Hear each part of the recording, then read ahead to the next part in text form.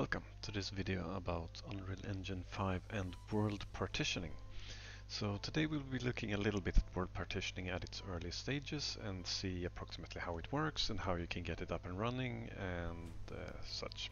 So let's jump into it. So here we are inside of Unreal Engine 5 in a third person template. Now uh, the first thing that you want to do is you want to go to your uh, project settings. And you go to engine. And under engine you have something called world partition. And then you click the checkbox that says enable partitioning.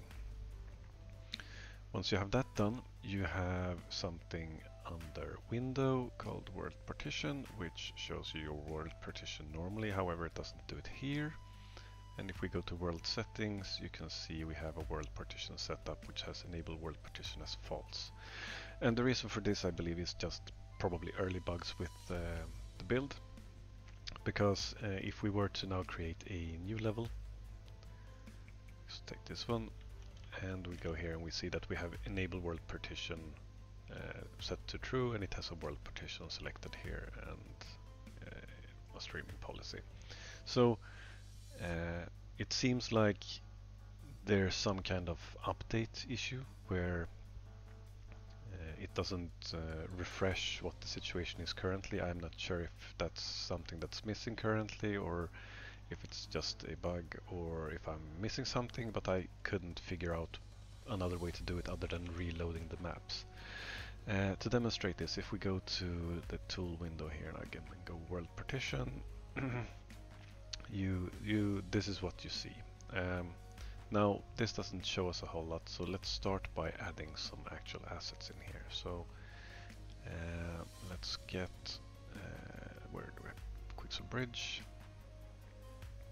and we'll get some 3D assets of some uh, let's take the Utah pack. So we go to nature.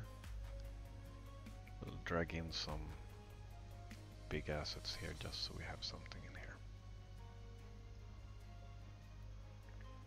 Like so. We can also take our uh, little platform here and scale that up absurdly so we have some ground for these meshes to be on. That's the wrong one. Let's move this one. Uh, this one was really small. Let's skip that one. Anyway, so what we'll do is we'll scale this a little bit up we'll make some copies of it an interesting note also is that when um, Unreal Engine tech demo was using world partitions it didn't actually have a landscape. It was built completely out of meshes because it was using the nanite technology. So that means that uh, landscapes might actually be a thing of the past possibly, or it might be playing a smaller role, I'm not entirely sure. Uh, or it could just be that landscapes will still be important because they will reduce the, the size of your um, uh, maps because they won't be actually taking up mesh space, you know. Let's call this level design 1, this map. Like so and let's go back to our other map. Now we're in here again and let's load back into our level design map. Now you see that this map looks completely empty and the reason for this is now the world partition has actually kicked in uh, when we loaded in this map and had all of the actors saved and such. So it, it's actually in unloaded cells now. So if we go to window and go to world partition, you can now see that we have had four cells automatically generated by the world partition and it's basing that upon the stuff that you have in the world. So if you were to uh, build further, it would add more cells and uh, generate dynamically each time. Uh, also I believe that we have a setting for uh, the size that your cells are going to be. So this one can be tweaked by you if you want as well. But anyway, so now we have these four cells here. So what we can do is we can just drag to select all of these and we can right click on it we can say load selected cells and now it will load in all the stuff that is available in each of these cells.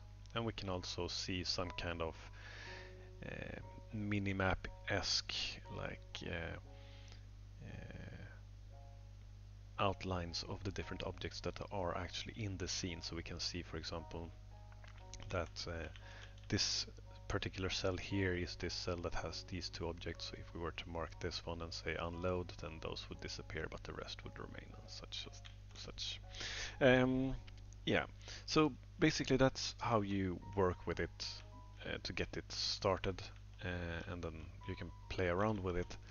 Uh, it's a bit finicky, so maybe one should, if one is interested of world partitioning, of course, uh, you're free to play around with it, but it seems a little bit finicky in the way that it only seems to be updating whenever you load into the map anew. So that means that you have to place all of the actors that you want to have and then you want to see the results and have to load and select cells and stuff like that. You have to actually leave the map and come back into the map to have it uh, react to the changes that you've made. And that workflow might be a little bit, I don't know, uh, off-putting for some. But uh, this is how it works. And in addition to this, you can have landscapes as well. But like I said, you don't have to if you don't want to. You could actually create the world just out of meshes, like they did in the the tech demo if you wanted to. Hopefully you found this video helpful. If you liked the video, leave a like. If you did not like it, leave a dislike. Leave any suggestions or comments you might have down below. Subscribe and share this video if you want to see more like it in the future. That is all for now. Keep on learning.